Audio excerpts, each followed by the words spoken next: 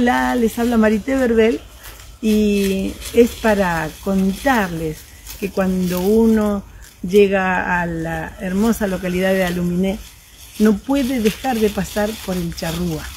¿Qué es el Charrúa? El Charrúa es un museo que es tan nuestro, como todos los museos son un bastión de nuestra historia, de nuestra identidad, de nuestra manera de ser, nuestra manera de vivir.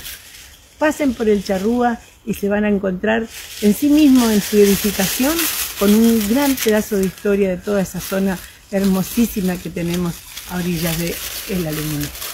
Los esperamos entonces allá en la localidad de Aluminé en estos días que festejamos los días de los museos.